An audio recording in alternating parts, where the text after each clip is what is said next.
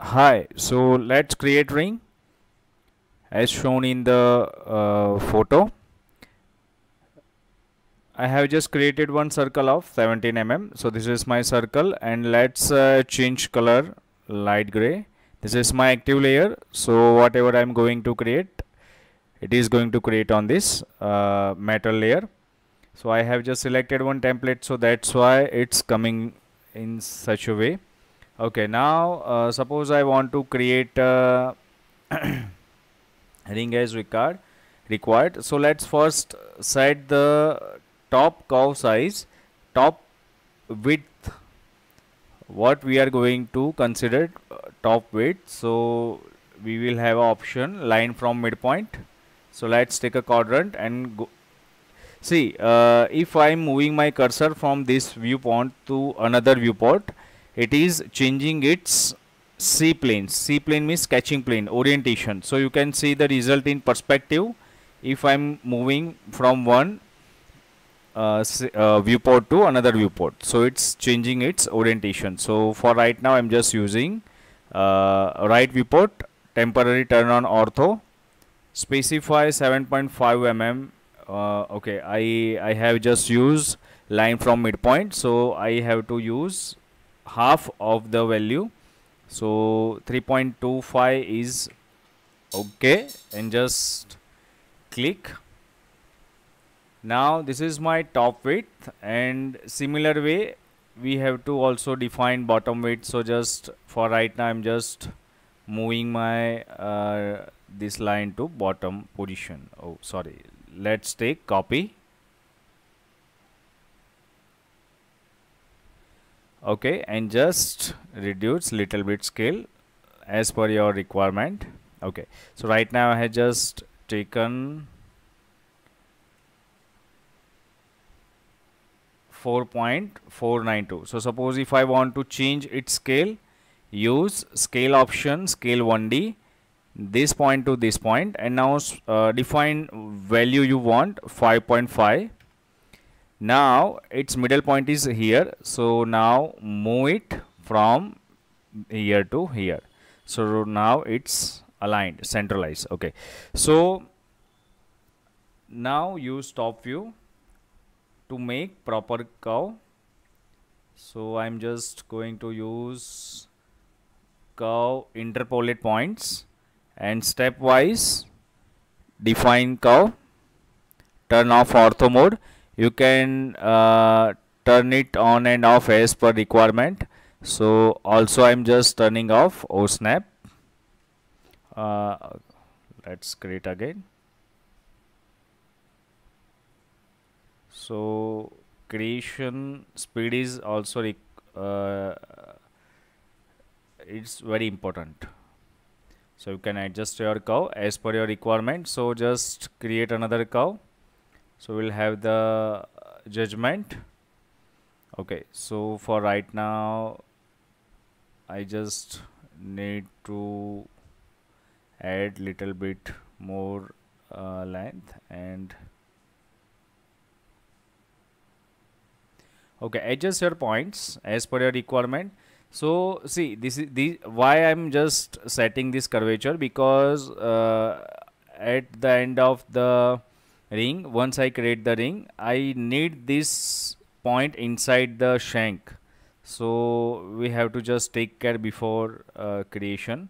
Okay i'm just uh, intersecting the curve and uh, again the same way. Just drag this point outside so it will uh, look more beautiful curvature okay don't uh, deform the shape. And uh, just move it little bit inside.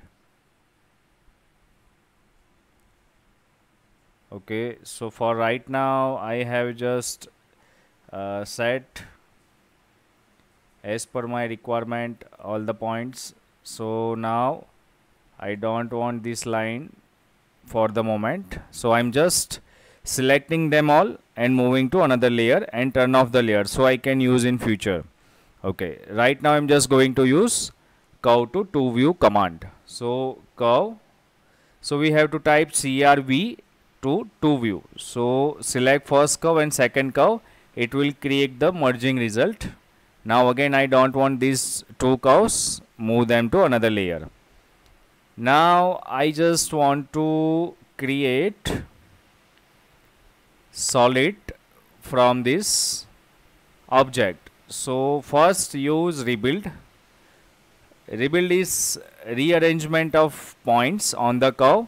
So right now it is 36 i'm just uh, add convert to 16 but make sure it is showing preview. So shape should not be gone deformed deformed. So you have to make the changes in such a way that the curve maintain its curvature. Okay so right now i have 16 points. Okay. Now i want to define cross section on this curve. So i'm going to uh, use this option from C planes here I have another option C plane perpendicular to curve. Now select the curve and uh, set the first point and define cross section here. So I'm just going to use this option rounded rectangle so use center point and click here and specify 1 by 1.2 and 0.8 is the radius. Now move it upside. Okay now uh, define another bigger section here. So again use the same option select the curve and set your okay turn off the center or snap. And now click on the midpoint. Now again set your cross section use center option. So it will create cross section using center. Here I'm just going to use 1.7 by 2 and 0.8 is the radius value. And uh, move it this point to this point.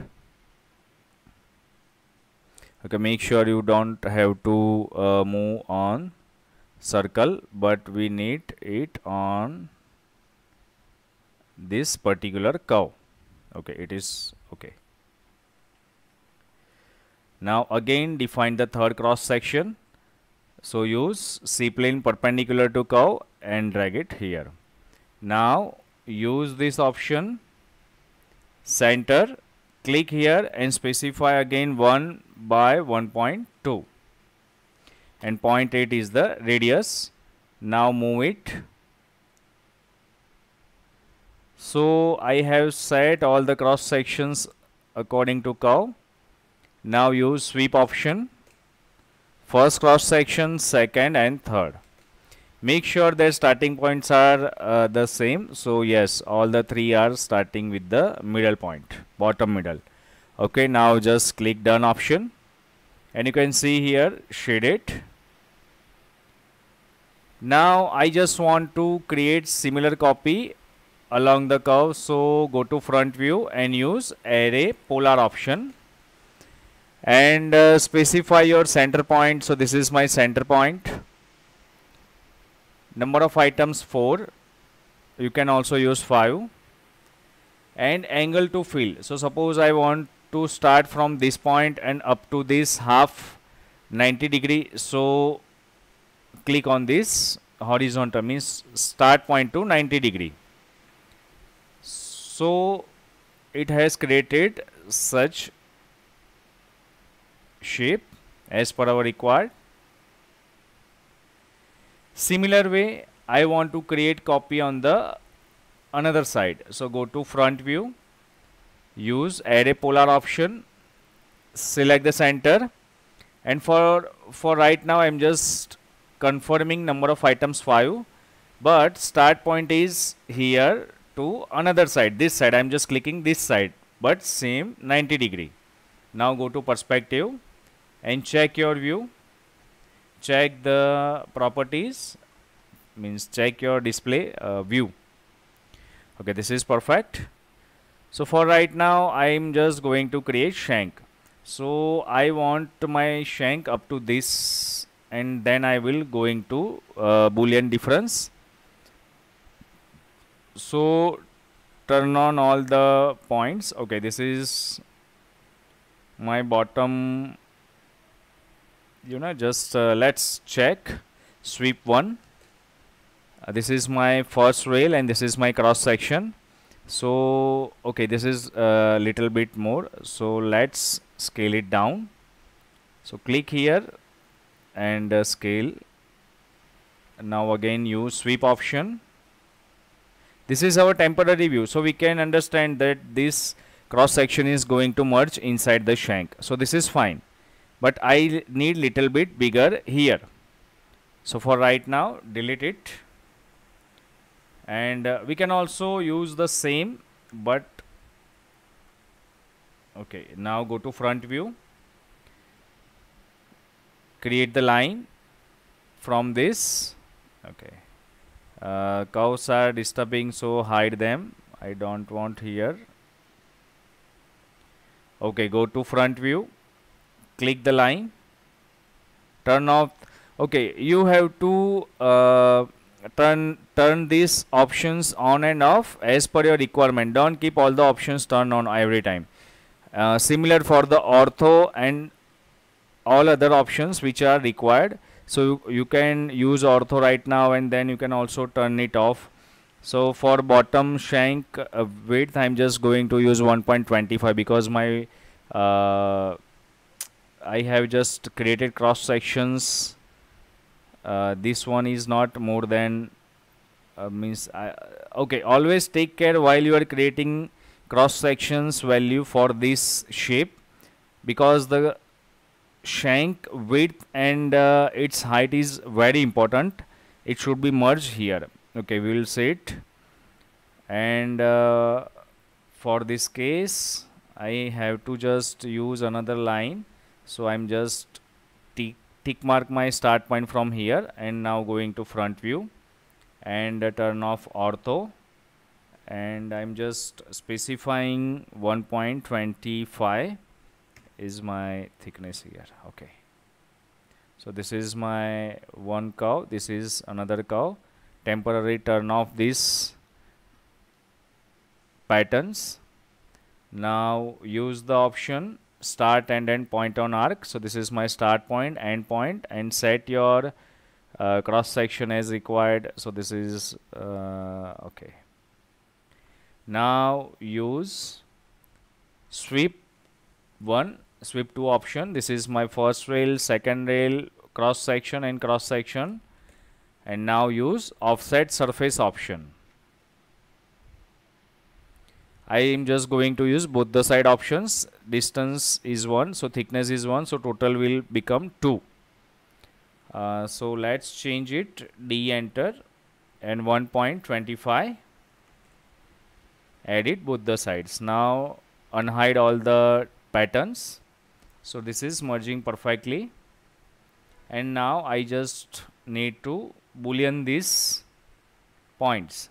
So this is not intersecting perfectly so what we can do select the shank and turn on the solid edit points and select these two points and move it little bit inside. So it will go inside this pattern and we can easily uh, differentiate okay.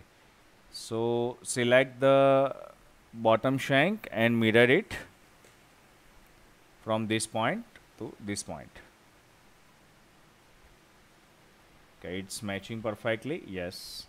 So now we can apply boolean difference.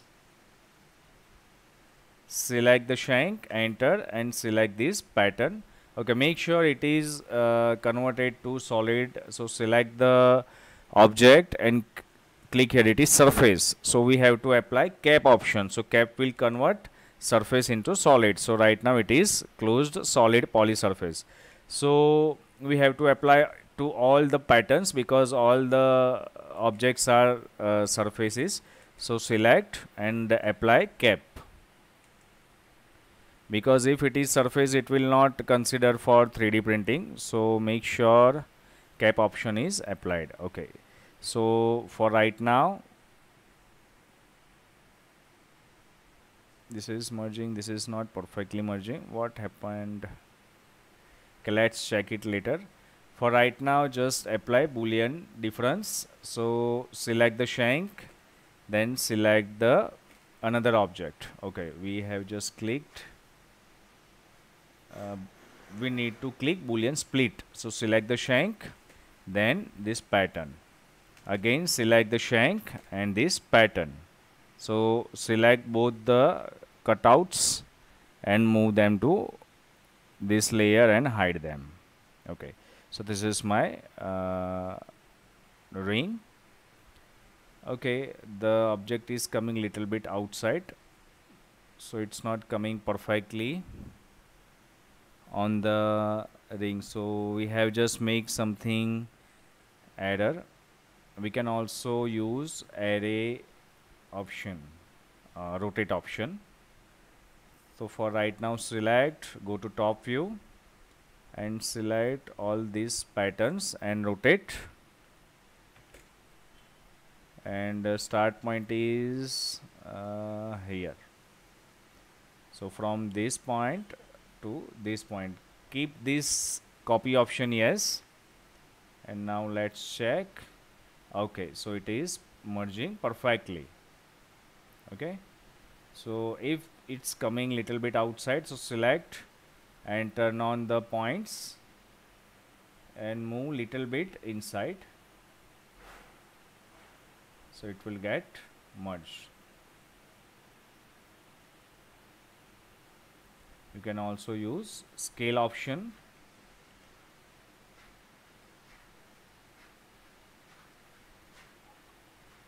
Okay